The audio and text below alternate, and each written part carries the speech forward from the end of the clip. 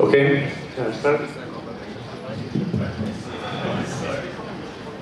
Uh, let me introduce myself. My name is uh, Marek Palatinus. Uh, I maybe uh, maybe uh, know me as a slush on the Bitcoin forum, and um, uh, I've been working as uh, in the banking industry for some for some time as a um, software ar- archi- architecture in a software architecture department, and uh, I found uh, Bitcoin two years ago, and I founded the first uh, Bitcoin pool, which is uh, based on uh, calculating shares as a proof of work. Um, uh, today, uh, I, I want to I want to describe uh, some main problems uh, which I met during the uh, pool operation in last uh, two years, and also propose some solution uh, solution uh, uh, for them. Um, speakers uh, before me um, um, describe a very wide uh, group of problems. I will be a bit uh, more specific, but I hope it will be uh, interesting. Um, can I ask you, how many of you uh, are mining currently? Nice. Uh, how many of you are mining solo? Nice, thank you. Uh, so, uh, you are not alone, definitely. There are thousands and thousands of people, uh, people around the world uh, who are using some kind of pool, maybe a peer-to-peer pool, maybe some uh, some other pool like uh, mine pool or Deepbit or or, or 50BTC. Uh, the main problem is that the current solution uh, has been uh, introduced just as a workaround uh, there was a GetWork uh, protocol in a Bitcoin client, and I just uh, use it for, for creating a pool. Uh, when I did this, I, I didn't imagine that uh, it will be such a big, uh, uh, such a big operation uh, in uh, two years uh, later. And uh, this solution has uh, many, uh, many uh, problems. So, uh, in my first part, uh, in, in first part of my uh, presentation, I will talk about uh, uh, these, problems and I will propose some solutions how to fix it. So, the biggest problem of the uh, of current solution is that uh, every work given by the server to the miner must be spe- specific. It's just a part of the GetWork protocol. So in the in the job given by the uh, by the pool is uh, just uh, one uh, num- number, small number, which can be iterated over. It's uh, 30, 32 bit um, uh, in size, so it fits uh, just to uh, 4 gigahashes uh, per second uh, per uh, one GetWork. So with uh, 32 gigahash uh, mining rig, you will basically need uh, 10 of these uh, requests to the server and uh, 10, 10 of uh, uh, 10 uh, time response. So this, this is the first big problem that the miner, uh, miner hash rate is bounded to to network load and, and poor, poor performance. And the second problem is that um, um, current uh, current uh, network protocol is uh, based on HTTP, which is not so ideal for Bitcoin mining because the um, the communication is done by by clients. Uh, it's pretty good for web browsing, but it's uh, definitely not good for uh, for mining because actually Pool uh, has uh, enough information and he knows when the miner need a new job. Uh, but uh, in current situation, miners are are um, asking to, uh, too frequent the pool. Uh, they are overloading, uh, it uh, because of some application strategies, and uh, it's a hell to maintain really. Uh, second, uh, third problem is uh, is that uh, originally the GetWork was just a polling solution. Miner asks every five, six, seven seconds for for new for new work, and uh, so Deepbit uh, was the first who introduced long polling mechanism, which uh, which is a big problem in the scalability because uh, because it requires second connection to the pool. It's really hard to load balance it. Uh, we are using uh, some things like uh, something like IP, IP for load balancing or sticky sessions. Uh, it's uh, far from ideal state. And also, um, there's uh, various clients are reconnecting after every long point broadcast. So when uh, when new block came, uh, came from the network, there is a real packet storm on the server every, basically every 10 minutes. Um, it's it's uh, pretty hard to uh, to fight against DDoS attacks because uh, because it's uh, to, it's hard to distinguish between real access by the miners and by DDoS attackers as well. So the first possible solution uh, to fix the first problem with the, uh, with the iterating nonce in uh, the get work response is just to increase uh, size of, uh, uh, of the nonce number. Um, this is a real problem because it, it basically needs change in the Bitcoin protocol itself because the uh, the thing what's uh, hashing on the miner side is part of the Bitcoin protocol. It's uh, it's a blockchain uh, block header used for for the hashing.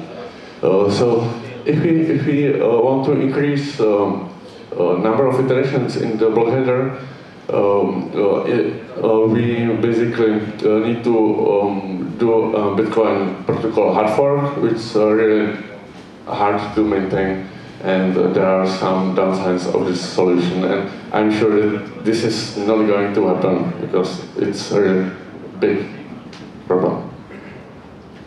Uh, second second um, option is to move uh, is to um, well what, what's what's going on the server when uh, when currently the uh, get work uh, get work requests happen. Um, pool is, uh, pool is increasing ex extra nonce with special place in the Coinbase transaction with, uh, with the uh, with, which is the part of the uh, Merkle, uh, Merkle tree, uh, which leads to unique Merkle uh, Merkle root, which is part of the blockchain, um, block header, I'm sorry. Uh, this uh, this uh, makes unique work for every miner. So the solution uh, second solution is to delegate this job outside of the pool directly to the miners. And uh, there are many problems with this. Uh, like uh, it's uh, clearly not, not not so easy to send all transactions to, to the miners. It's against scalability issues. Um, so it's not, not so easy to, to delegate all all this work as it is right now. but it's possible to uh, send uh, send to miners a template of the Coinbase transaction. It's a special kind of transaction. I uh, want to describe it uh, deeper right now. And uh, pre-hash uh, Merkle tree, uh, which it's just 10, 10 hashes per per 1,000 of transactions which are waiting for confirmation. And it's something like 11 hashes for 2000 um, transactions uh, waiting for confirmation. So it's uh, it's uh, scaling logarithmic, logarithmically, uh, not linearly or, or so. So there's a solution to uh, to uh, give block um, Merkle branch and Coinbase a template to the miners. they can now iterate the uh, new new number in the Coinbase itself, hash it over, and create unique transaction locally. Uh, this uh, scales much better, and uh, it's possible with my proposal, which I which I released this uh, this week, to uh, to provide a work over 18 exahashes per second per one connection. It's a really high number. I'm pretty sure it, it will, uh, it's, uh, it's uh, enough at least for one next year. um, uh, so this, this was the main, uh, main uh, decision. it's a main improvement in, in my proposal, but there are other things what I want to change together with, with this change. with, with, the Coinbase delegation. And the main thing is to remove the HTTP, HTTP overhead and long polling completely. It's uh, clearly not, uh, not necessary. Opening one single uh, TCP socket by the miner is enough and it gives the pool chan a chance to notify miner directly when some, some, something on the network happens, when there's a reorganization of blocks or when new, uh, new block uh, came. Uh, it's very quick, there's very low overhead, and it also enables some smart strategies, strategies for load balancing and mitigation to DDoS attacks. Uh, second thing is that um, in my proposal, uh, the load is completely driven by the server, not by miners. Miners just open just socket, subscribe uh, for receiving notifications, and they uh, receive some unique part of the Coinbase. It's unique uh, just for this miner. And the rest is standard public subscribe mechanism. Uh, so when uh, broadcasting of, of new uh, work happen, we'll just we'll just create one one um, uh, string, one, uh, it compiles one packet and send it to everybody. So there's very low overhead. It's it just uh, it's just broadcasting the single message over and over. By the way, this uh, this um, brings some new possibilities like creating uh, subpools, uh, but it's out of the scope of this presentation clearly. Um, and uh, the last, last thing uh, which I had to decide is uh, the protocol of the payload itself. And I decided to stick with JSON still. And I think that I have a good reason for this. Um, first, first reason is that um, miners already have uh, external dependency for JSON. Uh, almost every language supports uh, JSON internally without no external dependency. Um, and uh, it's uh, human readable, it's easy to, to debug, and, and the broadcast in, encoded in uh, JSON still fits uh, into one single uh, TCP, TCP packet. Um, and it's not depending on the, on the speed of the miner itself. So it's it's like forever.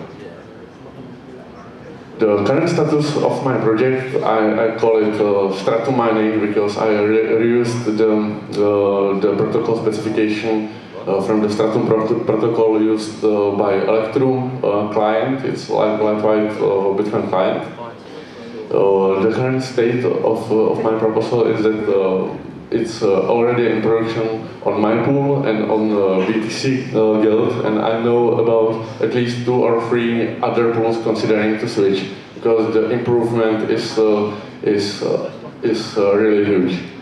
Um, it um, for, for, for, for example, um, the stale ratio uh, dropped from something around uh, half of the percent on my pool to 0.01 percent just by switching uh, the protocol and removing uh, such overhead generation of the unique uh, long power responses.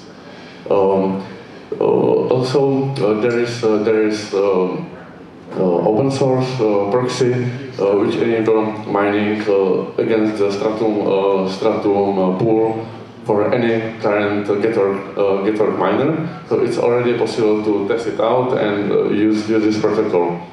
And uh, today will be announced the native, sub, uh, native support in uh, POC miner. It's OpenCL miner uh, done by uh, friend of mine. And um, this week be also released um, a new version of, of GUI Miner, uh, which is used by thousands of uh, people mining on Windows. Um, all this stuff is open sourced. I even open sourced uh, my uh, my codes, uh, which I'm running on the pool currently. Uh, it, it, it, can be found on the GitHub page. And there's also a protocol specification on my on my pages, and uh, I still I still uh, need to uh, describe some some corners, some edge cases a bit, but it's already possible to use. Okay, thank you.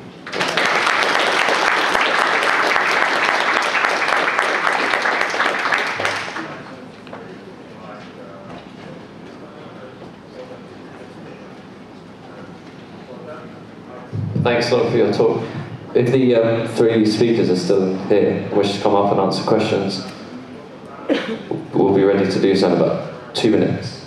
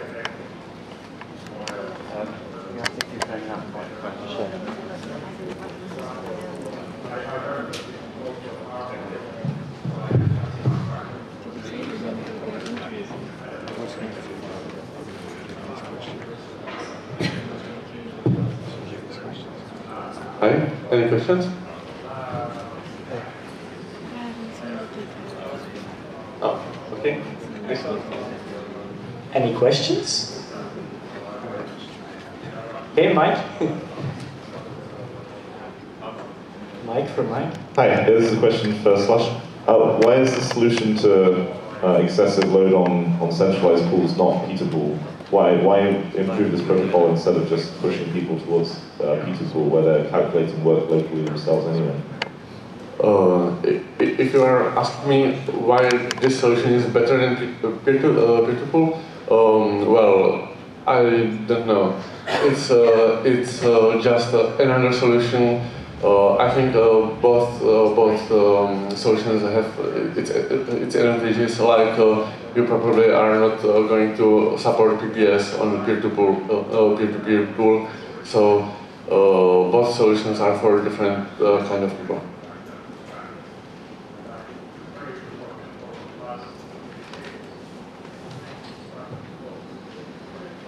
Okay. Hello?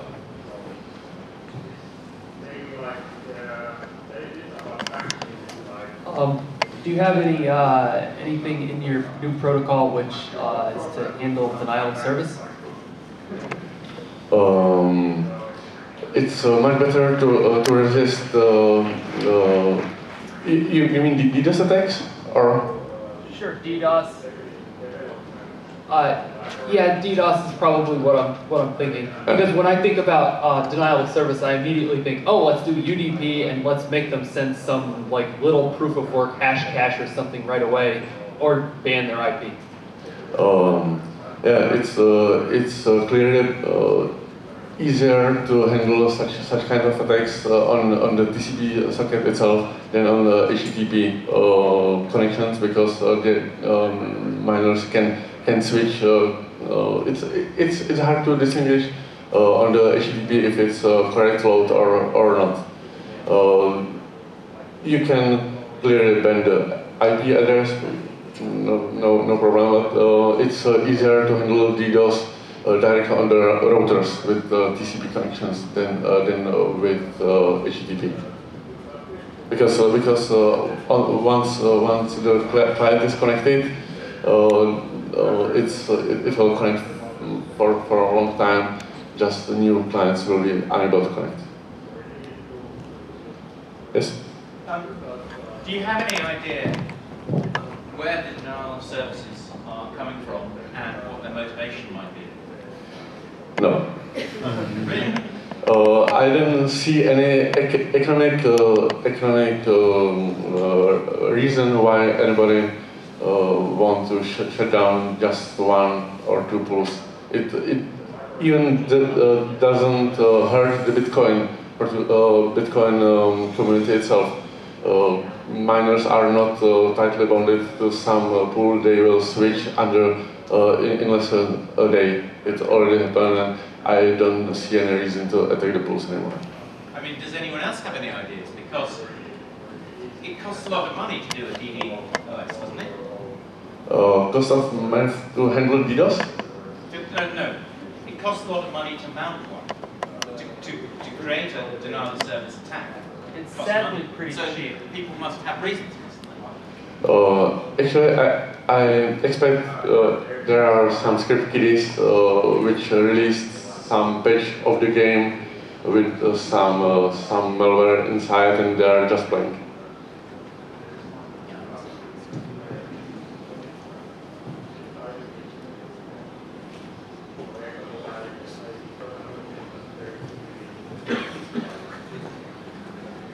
According to last question, I, have, I have an idea. I think it may be the uh, another mining corporation maybe trying to destroy the another one, or it could be even some governments. Like if government doesn't like the Bitcoin, they may try to destroy all the pools. Maybe it would be uh, an idea to destroy our our work. So my question is to all of you guys: What do you think? What the future of Bitcoin mining will be?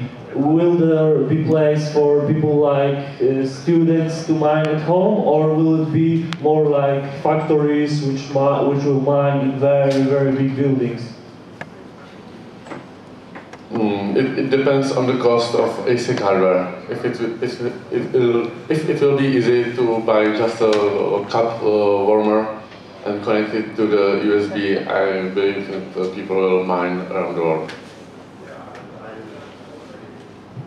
Well, in, in general, I think that there are some scale issues to mining. I think a larger mining business would have some advantage over smaller ones. I, I don't like the IPT, but on the other hand, indeed, if, if these ASICs do appear for relatively low cost, uh, that'd be nice, I suppose.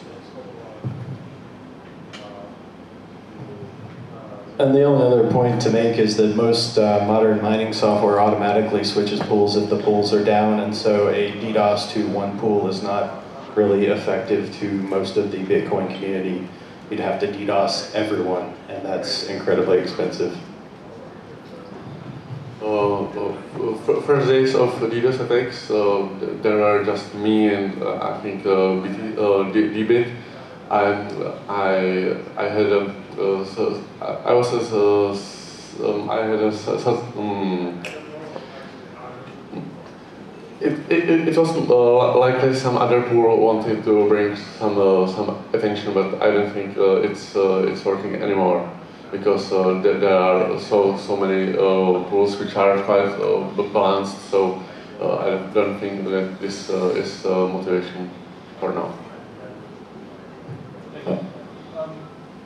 Might be a technically naive question, but if in the future, rather than assume that governments were attacking Bitcoin, if some large bank or some large organization really liked Bitcoin and got involved, what would happen if, for example, Citibank were to say, oh, this is great, get involved, build a really large mining uh, center, and then perhaps do something like all their clients, all the Citibank users, give them their own Bitcoin client. Would down the road like uh, organization like Citibank, for example, be able to have more control over the protocol if they were to have more users? Well, it, it depends uh, on uh, on the cost of hardware again, but I think that uh, that uh, when ASICs will will be between people normally, uh, it will be very very hard to overtake the network just by single organization. Uh, is your question whether a large organization that uh, amounts a, uh, a, high amount of uh, hashing power, over 51%, whether they could enforce new rules on, on the protocol? Yeah, essentially. And, um, if, if, they had more, like, like a more computing power, but not in, a, in a, an aggressive way, but more that they say, oh, we would like to do this sort of change and then more users, just because perhaps all okay. their... So the, the, the potential attacks for uh, a single entity which has more than half of the hashing power of the network are pretty known, I think. So there, there's, they can do arbitrarily uh, stop transactions they don't like. Uh, if it goes over 50%, they are able to rewrite parts of the of history of the of the blockchain.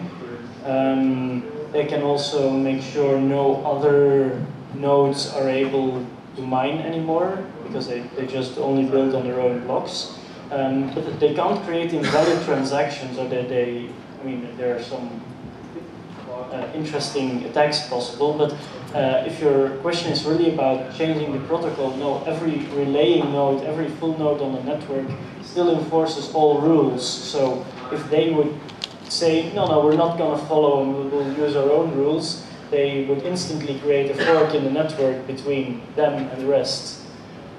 If they have a very strong economic power, they might convince other people in the network to also switch to their software, but at that point it's not Bitcoin anymore, they're just running their own fork, I guess. Um, one last question for Jeff. Could you just say a, a word about uh, how far you've got with PyBond and what way you think that's going to be released and where it's going to go? Well, the, uh, the P2P and DHT uh, basics are in place, so the, uh, there should be an actual bond transaction in the next week appearing on testnet. But uh, it's just the very, very basic, includes a bond descriptor and to whom it's paying and that sort of thing. There's uh, the pay to policy stuff, which is very, very interesting, and I hope to collaborate with some other people on is uh, in the more distant future.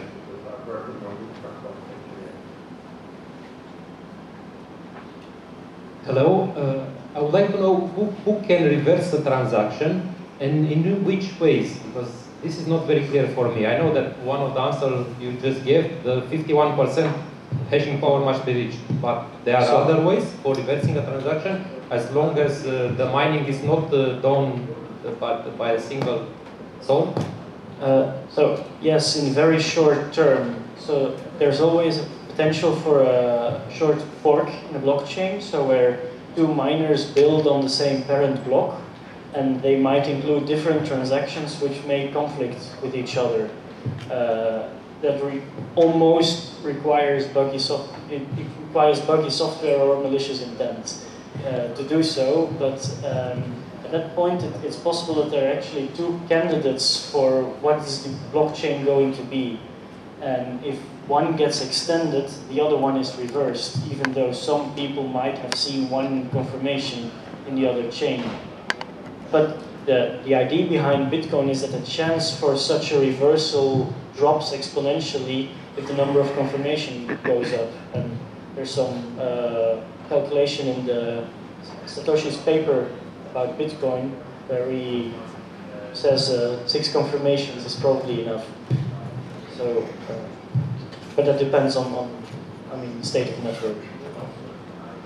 Given what we've learned from the development of the Bitcoin community and transaction history so far, if we were going to re-architect it going forward, if that were theoretically possible, what are the learnings that we've made and what are the one or two things that would be high on each of your agendas to improve going forward? Would you de-link the uh, size of the community to hardware or you know, is, is there anything architecturally that you would change based on what we've learned so far? Um, answer myself. Um, there are some things, I mean, if, if we re really had the ability to say, okay, we're going to change the protocol any way we like and we start from scratch, that, that's not a feasible thing. It, it's a lot harder to, to do upgrades. But um, if, if we had that possibility to, to do that immediately, there were some things I'd change, but uh, they're, they're more technical. I, I, sorry if it's not, not really an answer, but um, uh, Look on the uh, wiki at the hard fork wish list. yeah, exactly. There, there's a list uh, on, on the Bitcoin wiki with changes that some people would like to see in the protocol. Uh, I think one uh, one thing, and I'm not, I don't know a lot about it, but I think one thing that we've learned from all of the forks of Bitcoin that have happened over the past couple of years is that Satoshi is that Satoshi really got a lot of the variables right, or the constants right, when he put them there. Because people said, ah, we'll have shorter blocks, and we'll have easier mining, and we'll have, we'll, we'll solve all these problems, and then they all, well, a lot of them just crashed and burned. Um, I think that's just network effect in a sense. I think if the block time would have been on average three minutes instead of 10 minutes, and that would have been first, we would still have blocks of three minutes. Uh, it's not to say that, that he got things wrong or, or anything, but uh, I don't think the reason you give uh, is evidence that he chose everything optimally.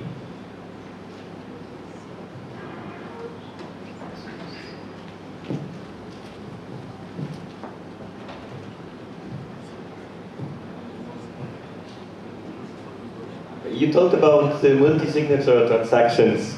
Uh, can you explain more how uh, this should be used in an exchange? For example, is it um, possible to do such a thing that an exchange has one key and the user on the account has the other key and both of them have to sign the withdrawal? So, like, a theft of, of the whole wallet of the exchange does not allow to withdraw anything because it still needs the other key from, from the customer? Well, a full answer would be, I think, out of outside the scope of this discussion. But basically, multi-sig requires uh, m of n keys to be uh, valid in order to uh, cash in that transaction, and so that can be. Uh, one exchange has one key and then an offline server has another key that's slotted by an employee or there's a second server which is on a totally different network um, there, there are a whole, just a long list of combinations of things that you can do with uh, multi-sig. So, uh, you know, I'd, I'd suggest just, uh, yes, the answer is yes. Uh, but uh, get, you know, get together with us uh, after the talk and we can, we can go into more technical detail. And from which version of the client is it implemented? Um, multi-sig was in the original Satoshi client. It was only made a standard relayable transaction in the past year. But if you have a remotely recent reference client, then it should support it. Like 06? Yeah, yeah, that's it.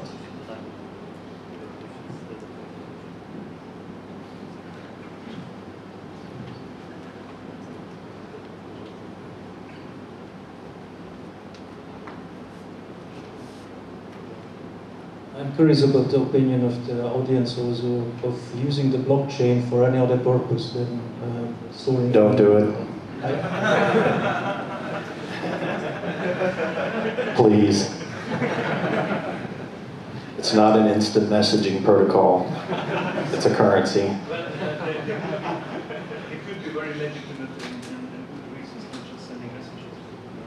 It's a very complex, expensive, and cumbersome way to send messages. There are a lot of easier ways to do it, and expensive. Please, please use projects like Namecoin, which are uh, really secured because they share the difficulty of the of the Bitcoin network mostly, and they are supposed to be uh, for such applications. I have a question. Uh, on the Bitcoin forums, there was recently a pre-announcement that the Bitcoin project will make an announcement in September. Is something going to happen on this conference, or will it be later? We will be announcing the real identity of Satoshi. Thank you.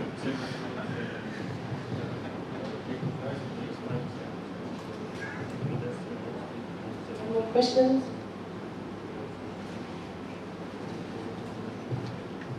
Lunch? Oh, right. Yeah. Well, we've got two two more minutes. So if there's no more questions, we'll break a bit early. Um, an hour lunch break, and we.